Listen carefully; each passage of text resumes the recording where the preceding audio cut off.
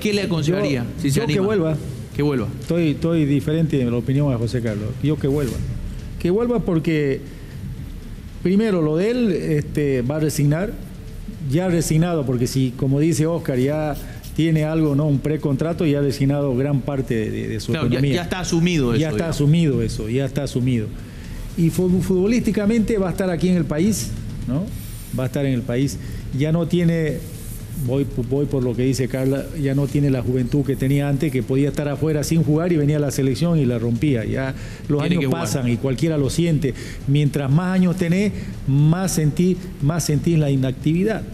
Entonces, en este momento, volver para Marcelo es muy bueno. Primero porque es un desafío. Y él, reitero, tiene el carácter y la personalidad para asumirlo. Eso es muy, bueno para él, porque Claro. él, se va, así- él, él va a luchar contra él mismo. Va a decir, a ver, est- estoy en un nivel para ayudar a Oriente, un equipo que yo quiero, estoy en un nivel para a- a- este, a ser- seguir siendo útil a la selección, lo tengo que demostrar y lo va a tener que demostrar todos los partidos.